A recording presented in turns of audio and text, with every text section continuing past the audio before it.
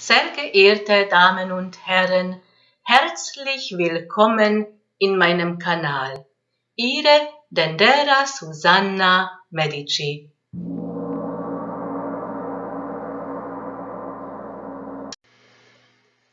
Jahreshoroskop 2018 Tierkreiszeichen Schütze. Erstmal möchte ich Jahr 2018 am Allgemeinen beschreiben und es gilt nicht nur für die Schützengeborenen, sondern für alle Tierkreiszeichen. Jahr 2018 ist ein Venusjahr.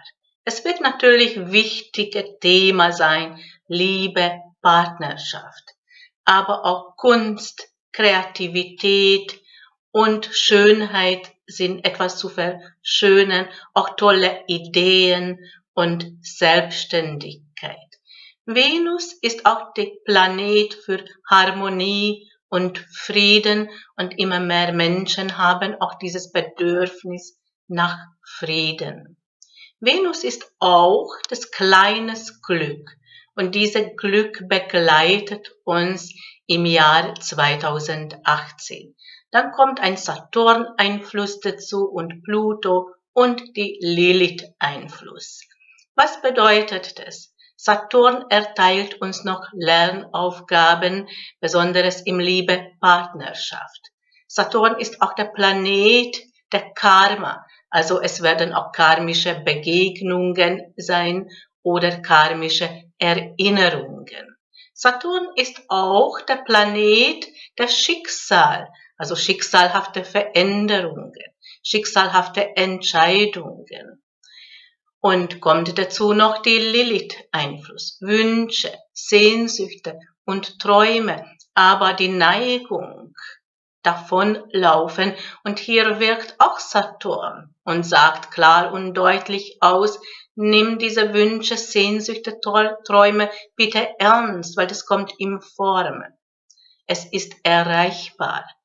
Dann kommt die Pluto-Einfluss. Pluto ist die inneren Kraft, diese konzentrierte Kraft, die Transformation. Und es ist wichtig bei diesem Pluto-Einfluss auch daran denken, dass wir alles aufräumen in unserem Leben, was uns hindert, glücklich zu sein oder erfolgreich zu sein.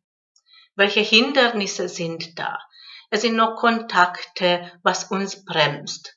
Es kann auch eine Angewohnheit sein, wovon wir verabschieden sollen oder Gegenstände, aber betrifft auch unsere Gefühle wie Schuldgefühl oder Angst. Es sind auch Stolpersteine in unserem Leben. Jahre 2018 lernen wir über Gefühlen zum Sprechen, kommunizieren. Und es ist auch ein wichtiges Thema. Das, was wir denken und fühlen, in Sprache zu bringen. Aber wir lernen auch, dass es nicht immer klug, offen zu sein. In manchen Situationen hilft uns das Sagen, was wir denken oder Gefühlen offenlegen.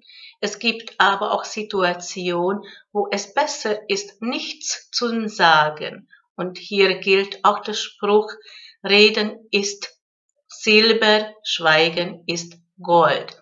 Und das sollten wir feinfühlig dann ausgleichen. Und wie trifft das die Schützengeborenen? Ich habe die Saturn-Energie und auch äh, die Saturn-Energie und auch die Lilith-Energie angesprochen. Das wirkt noch bei die Schützengeborenen.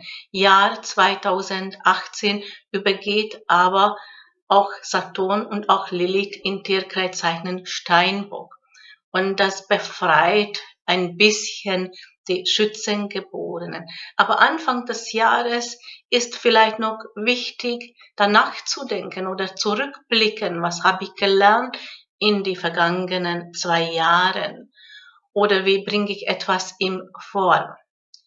Aber was erwartet, das ist der Rückblick und was kommt, ist auch sehr wichtig. Die Schützengeborenen werden 2018 wahrgenommen. Ein Aufstieg ist für die Schützengeborenen.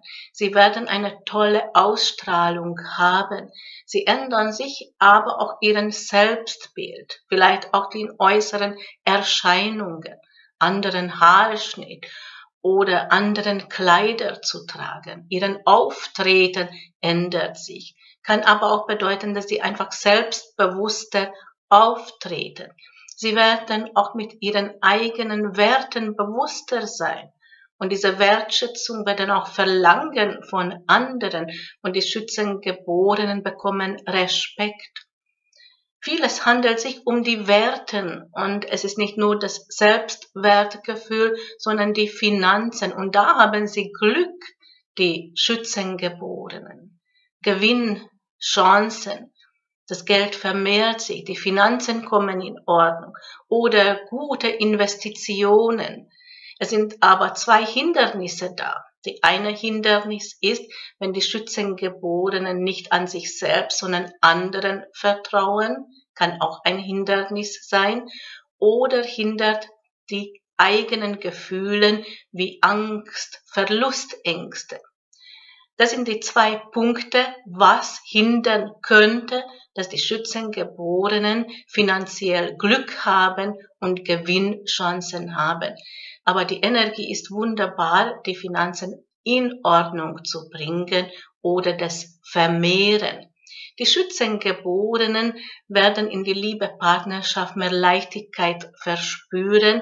Die, wo in einer Partnerschaft leben, werden miteinander gut kommunizieren, wie ich Anfang auch erwähnt habe, über Gefühlen zum Sprechen, aber auch zuhören, was die anderen sagt, geben und nehmen, ein Austausch, nicht nur emotional, sondern auch in Sprache, in Kommunikation. Und die Schützengeborenen, die alleine sind, werden Kontakte haben.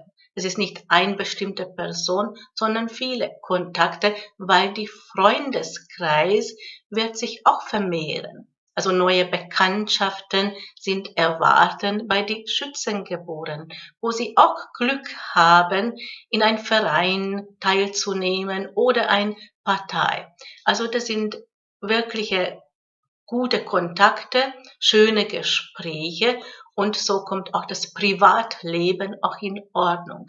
Und beruflich werden die Schützengeborenen tolle Ideen haben und es auch verwirklichen, gute Chancen für einen Neuanfang beruflich oder die bestehende äh, beruflichen Situation, die Arbeitsplatz etwas verbessern, auch durch eigenen Ideen.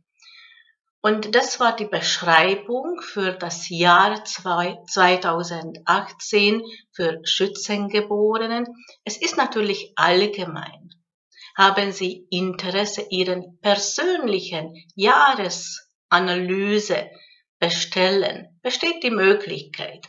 Unten bei der Beschreibung befindet sich mein Kontaktdaten dann kann ich genau die Tendenzen beschreiben und auch die einzelnen Monate. Genau beschreibe ich dann, was ist zum Erwarten oder auch welche Hindernisse da auftauchen. Manchmal geht es nicht um eine Analyse oder große schicksalhafte Ereignisse, sondern Fragen, was unserem Alltag betrifft. Wie zum Beispiel, sehe ich ihn in die kommenden Tage. Liebt er mich noch? Kommt sie zurück? Werde ich eine Nachricht erhalten? Soll ich in diesem Arbeit bleiben? Bekomme ich einen neuen Arbeitsvertrag? Soll ich diese Reise buchen? Werde ich umziehen? Und, und, und. Diese Fragen sind auch sehr wichtige Fragen. Dazu braucht man keine große Analyse, aber ein guter Rat ist immer Gold wert und dazu empfehle ich Ihnen die Blitzberatungen. Wie funktioniert eine Blitzberatung? Sie schreiben mir ein E-Mail. Mein E-Mail-Adresse ist blitzberatung at denderasusanna.medici.com. Beschreiben Sie Ihren Lebenssituation stellen Sie Ihren Frage bitte die Geburtsdatum mit Uhrzeit und Geburtsort dazu schreiben. Und ich werde diese E-Mail natürlich auch blitzschnell beantworten. Mein Honorar beträgt pro Frage 10 Euro.